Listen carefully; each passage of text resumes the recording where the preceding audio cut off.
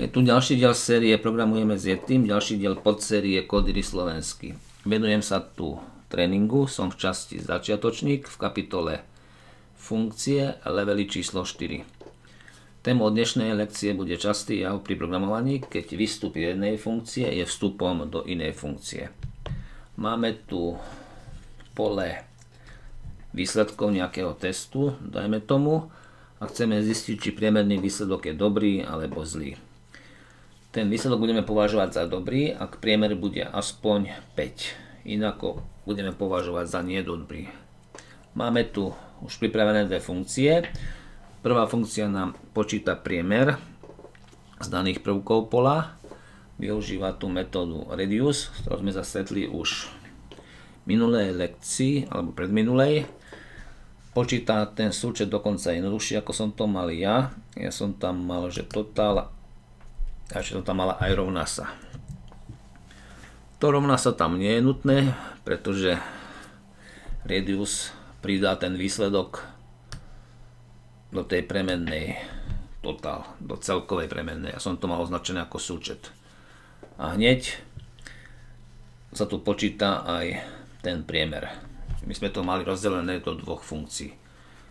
Tu sú tiež dve funkcie, ale úlohou druhej funkcie je zistiť, keď sa zoberie výstup z tejto funkcie, či ten výstup považujeme za dobrý alebo za zlý, či ten priemer je dobrý alebo zlý.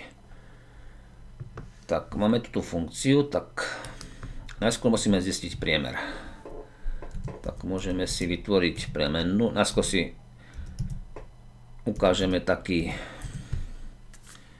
ukecaný postup, takže priemer a zavolám túto funkciu.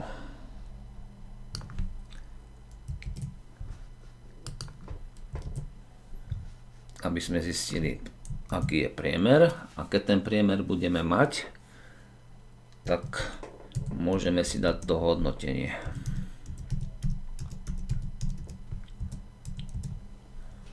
Na to budeme potrebovať túto funkciu len tam budeme musieť potom zmeniť ten argument. Budeme to volať s argumentom priemer. No a nakoniec musíme to hodnotenie vrátiť.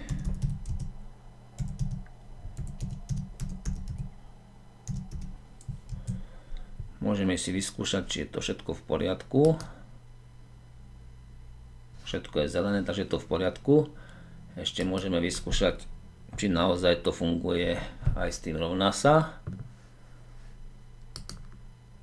Opäť žiadna chyba, ale jednoduchšie je tento spôsob. A ideme to zjednodušiť. Nemuseli by sme si vytvárať tú premennú hodnotenie, mohli by sme to zavolať takto.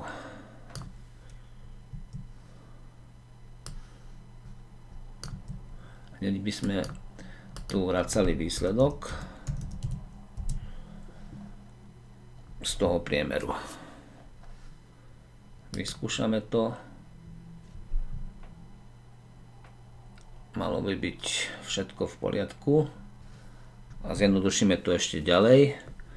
Nebudeme si vytvárať ani premennú priemer. Takže toto odstránime.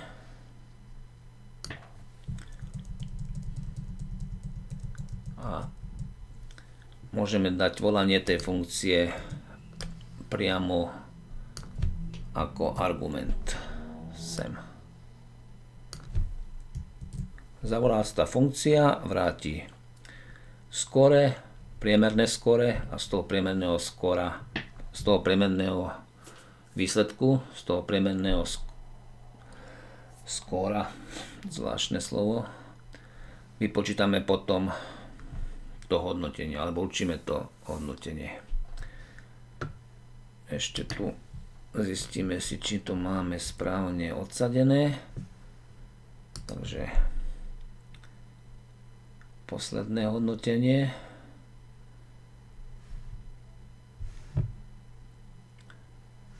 Tá medzera by tam ani nemusela byť.